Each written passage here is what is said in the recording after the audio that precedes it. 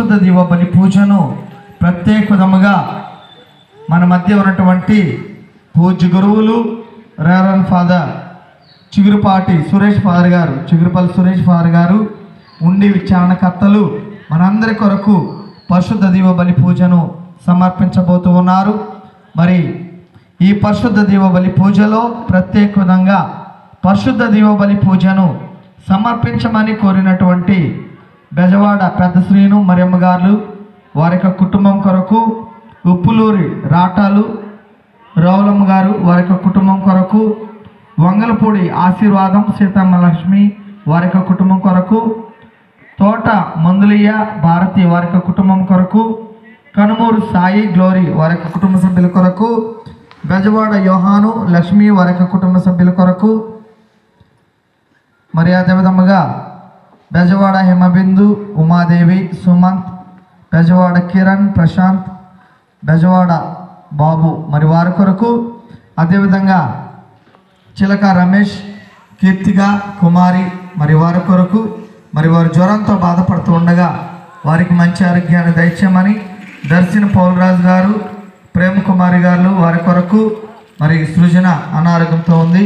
మరి వారికి మంచి ఆరోగ్యాన్ని దయచేయమని దిల్స్పాము గంగాధరరావు సుమలత స్వప్న సాత్విక్ వారి కొరకు వంగలపూడి పెద్ద సంజయ్ సంజయరావు గారు సుశీల వారు వారి కుటుంబముల కొరకు వంగలపూడి ప్రభాకరావు కుమారి అనుష సిస్టర్ గారి కొరకు శైలజ కొరకు కంతేటి వరదరాజు గారు సావిత్రి గారు అదేవిధంగా రవికిరణ్ అనుష మరి చిన్నారిబిడ్డ కొరకు కృష్ణవేణి సందీప్ కొరకు శ్రీకొక్కులు భాస్కర్ సంధ్యాల బిడ్డ బిడ్డల కొరకు వారి యొక్క గర్భఫలాన్ని ఆ ప్రభు ఆశీర్వదించమని అక్కిశెట్టి సోమలమ్మ గారి కొరకు అనిల్ కొరకు సొంగ అన్నమ్మ అన్నమ్మ గారి కొరకు తానిగడప వెంకటలక్ష్మి అతి త్వరలో వివాహం జరగాలని బెజవాడ డేవిడ్ రాజు గారు రాయలమ్మ గారుల కొరకు మరి నిహారిక రవితేజ బిడ్డల కొరకు రవితేజ రాత్రైన పరిశుద్ధ దీపబలి పూజను పెట్టించుకునే వాళ్ళు ఉన్నట్లయితే త్వర త్వరగా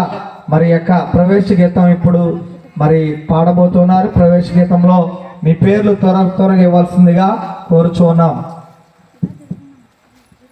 ప్రవేశ గీతాన్ని పాడుకుందాం.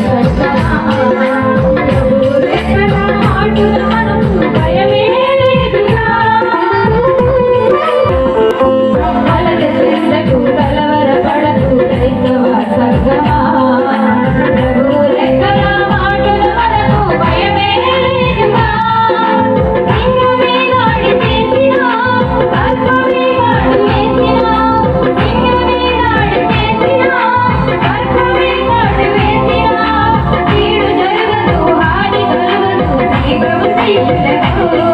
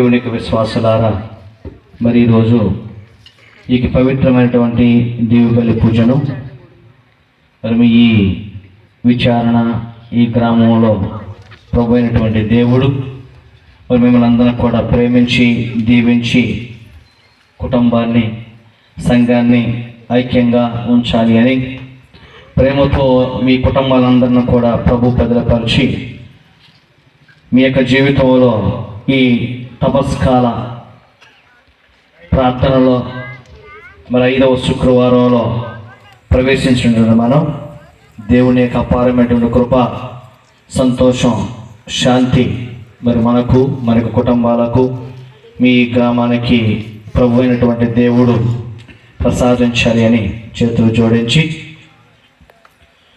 ఈ పవిత్ర బలిలో పాలు పంచుకొని దివ్య సప్రసాద.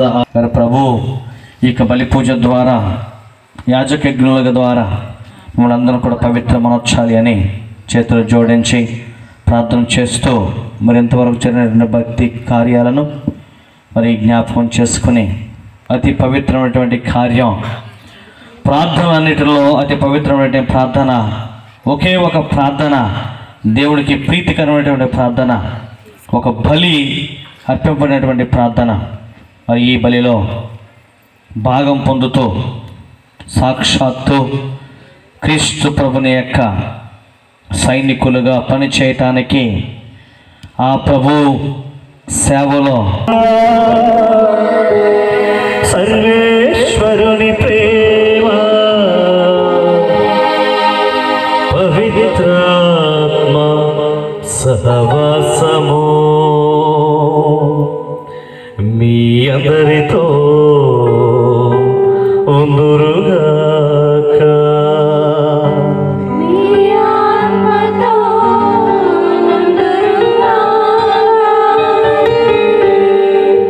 నుండురుగాక. ఎందు పూజ్య గురువులు.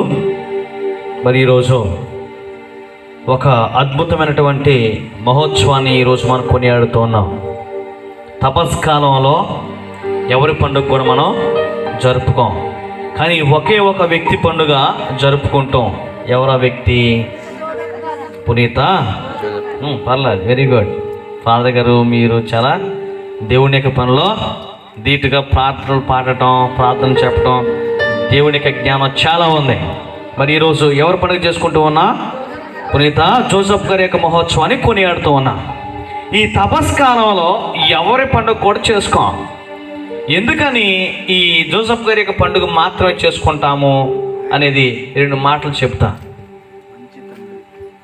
ఈ జోసఫ్ గారు తపస్కాలంలో వైభవంగా ఎంతో సంతోషంగా క్రీస్తు పూర్విక శ్రమలను ధ్యానం చేసే ఈ తరుణంలో ఈ బిడ్డ యోసేపు ఇతను పునీతుడిగా కాకముందు ఇతను జీవించిన విధానం ఏంటయా అంటే ఇప్పుడు జస్ట్ లైక్ మన దీక్ష సహోదరులే.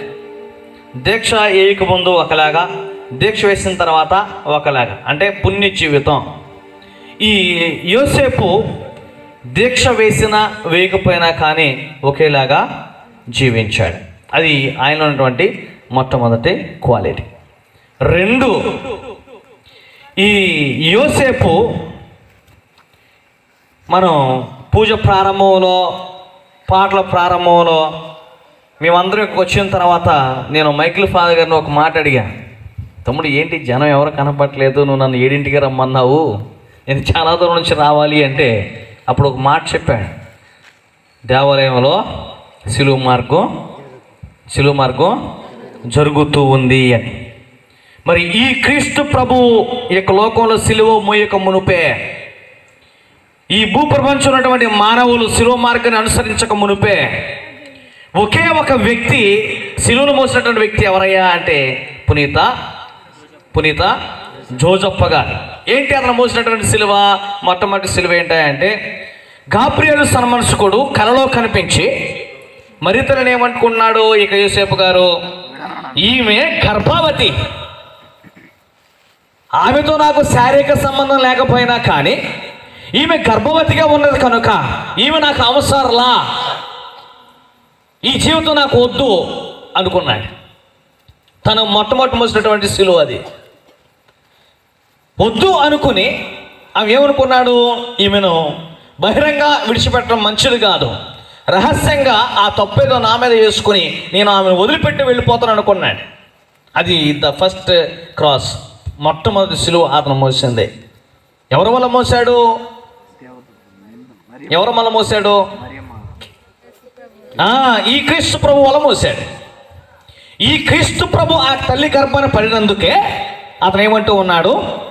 ఈమె గర్భవతి నాకు అవసరంలా. మొట్టమొదటి సిలువ మోసాడు. ఈ క్రీస్తు ప్రభు గురించి.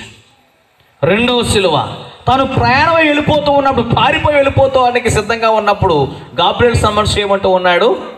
జోసప్ప నువ్వు భయపడమాకు.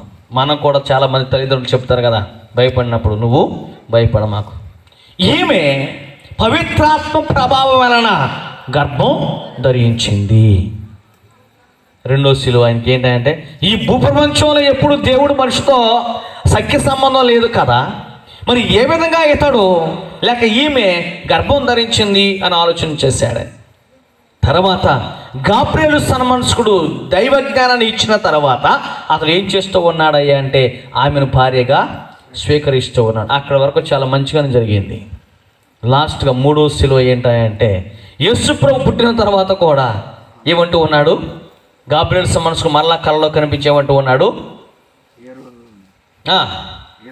నీవు వెంటనే తక్షణమే ఈ ప్రాంతాన్ని వీడి ప్రాంతాన్ని వీడి ప్రాంతాన్ని వీడి.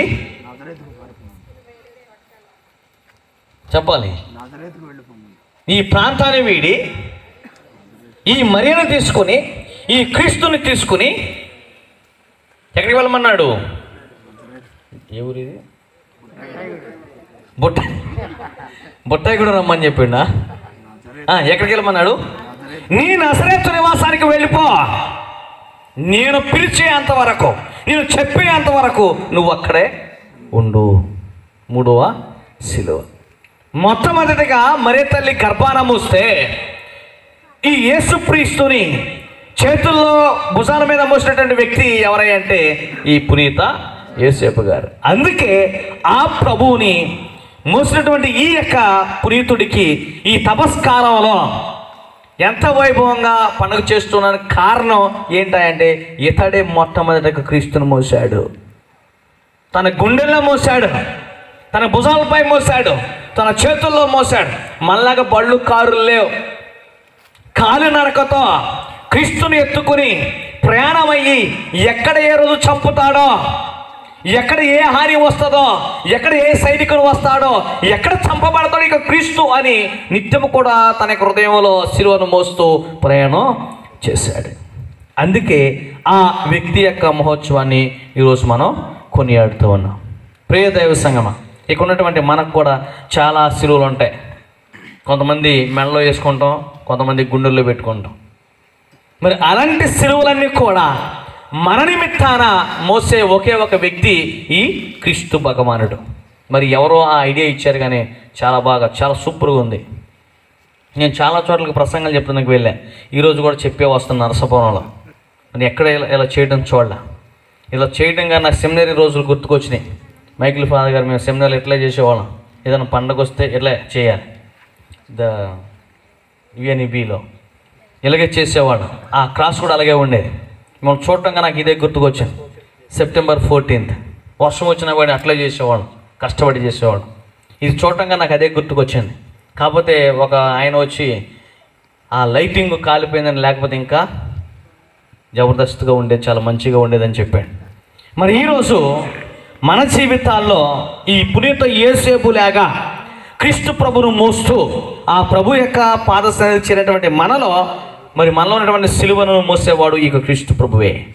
ఆ యొక్క ప్రభువుకి మరి ఇక్కడ ఉన్నటువంటి కుటుంబాలను ప్రభు ఏ విధంగా అయితే మనకు గురువులు ఇక దివుబలి పూజ ద్వారా ఏ విధంగా సమర్పిస్తూ ఉన్నామో మరి మీ కుటుంబాల్లో ఉన్నటువంటి సిలువలను ప్రభు తొలగించి ఈ పవిత్రమైనటువంటి రోజుల్లో ఈ తపస్కాలంలో తపోదీక్ష చేయటానికి చేయబోయినటువంటి మనలను మనకు కుటుంబాలను ప్రభు దీవించి ఆస్వాదించాలి అని ఇక పవిత్రమైన బలిలో ప్రార్థన చేస్తూ మనం చేసిన తప్పిదాలను పాపాలను ప్రభు సన్నిధిలో ఒప్పుకుందాము. అదే విధముగా ఈ పరిశుద్ధ దివ బలి పూజలో లక్కపోగు దానయ్య రామలక్ష్మి గారుల కొరకు భగవాన్ కరుణ గార్ల కొరకు దేవునేని హరిబాబు వారి కొరకు వారి యొక్క కుటుంబం కొరకు చిలక గ్రేస్ కృప వారి కొరకు వంగలపూడి రాజు లక్ష్మి గార్ల కొరకు రాజేష్ రాహుల్ వారి కొరకు వారు బాగా చదువుకోవాలని యొక్క ఉద్దేశాల కొరకు అదేవిధముగా అంతకుముందు చదివినటువంటి యొక్క ఉద్దేశాలన్నిటిని కొరకు ఈ పరిశుద్ధ దేవబలి పూజలో సమర్పిస్తూ పవిత్రంగా పాల్గొందాము. యాగమెంత చేసావు దేవా నా పాపమంత గడిగావనేస్తం త్యాగమెంత చేసావు దేవా? నా పాపమంత కడిగా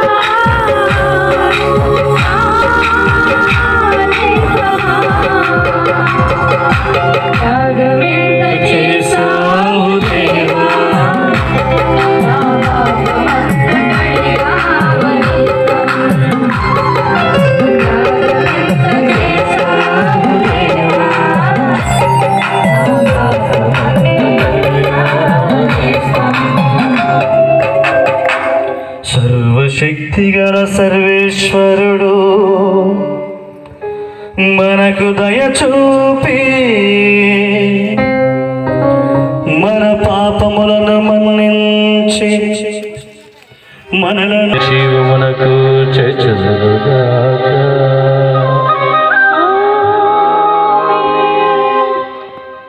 ప్రభువా దయచూపుము క్రీస్తువా దయచూపుము ప్రభువా దయచూపుము మహోన్నతునికి మహిమ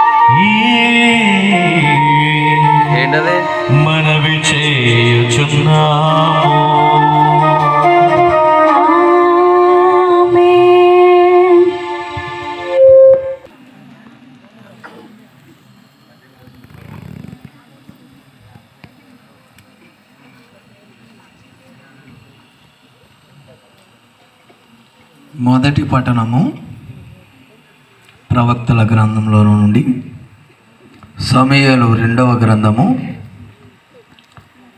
ఏడవ అధ్యాయము ఏడవ అధ్యాయము నాలుగో ఐదో వచనములు.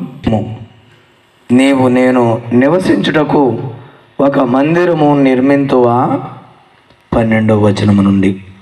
నీవు రోజుల నుండి నీ పితరులను కలుసుకొనిన పిమ్మట నీ మేలు నుండి వెలువడిన తనయునే నా రాజ్యమునకు అధిపతి చేసేదను.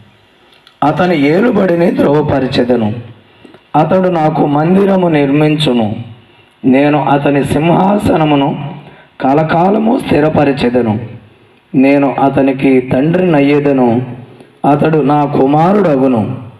అతడు తప్పు చేసి నేని నరులు బిడ్డలను బెత్తముతో మోదీ శిక్షించునట్లే శిక్షించును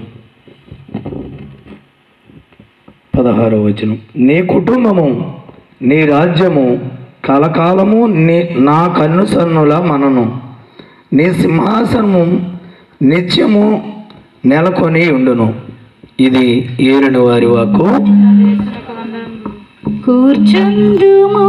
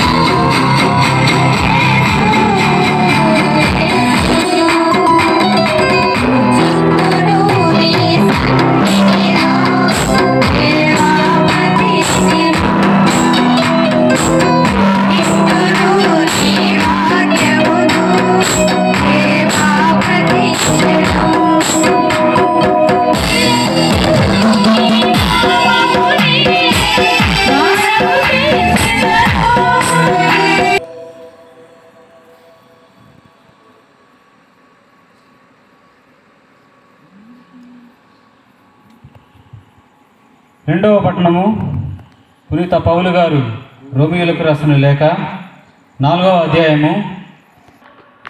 ఈ ప్రపంచము తనదగునని దేవుడు అబ్రహామునకును అతని సంతతికి వాగ్దానం అనర్చెను అబ్రహాము ధర్మశాస్త్రమునకును విధేయుడు వలన కలిగిన నీతి చేత ఈ వాగ్దానము చేయబడినది. పదహారు వచనం నుండి. కనుక ఆ వాగ్దానం విశ్వాసముపై ఆధారపడి ఉండెను. అబ్రహాము సంతత వారందరికీ దేవునిచే వసకబడిన వరముపై ఆ వాగ్దానము ఆధారపడి ఉన్నది.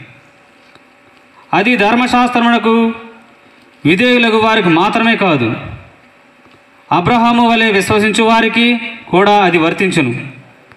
ఏలైనా అబ్రహాము మనకు అందరికీ ఆధ్యాత్మిక తండ్రిగే కదా. ఎన్నో జాతులకు నిన్ను తండ్రిగా చేసేదిని అని వ్రాయబడి ఉన్నది. కనుక దేవుని ఎదుట ఆయన మన తండ్రి. అబ్రహాము ఆయన ఎందు విశ్వాసం ఉంచాను ఆయన ఏ మృతులను పునర్జీవితులను చేయును. ఆయన శాసనమే శూన్యము నుండి సృష్టించి సృష్టిని కలిగించును. నిరీక్షణకు ఆధారం లేనప్పుడు అబ్రహాము విశ్వసించి నిరీక్షించెను. కనుకనే ఎన్నో జాతులకు తండ్రి అయ్యాను నీ సంతానము ఆకాశం నంది నక్షత్రముల లేవుండును అని చెప్పబడినది. ఇరవై రెండవ వచనము. ఆ కారణముచే విశ్వాసము ద్వారా అబ్రహాము దేవునిచే నీతిమంతుడిగా అంగీకరించబడెను. ఇది ఏలిన వారు వాకు స్తుతులకు పాత్రుడా స్తోత్రార్హుడవు నీవేగా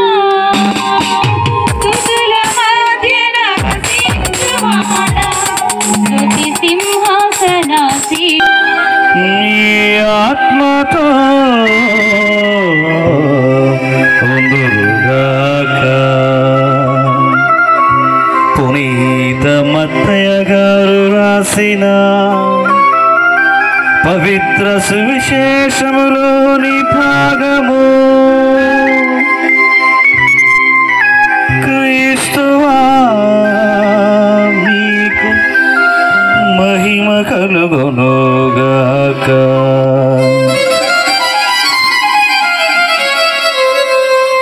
మత్తే శుభవార్త ఒకటవ అధ్యాయము పద్దెనిమిదవ వచనం నుండి ఇరవై ఒకటవ వచనం వరకు. మత్తయి శుభవార్త అధ్యాయము ఒకటి పవిత్ర వచనములు. పద్దెనిమిది నుండి ఇరవై ఒకటి వరకు.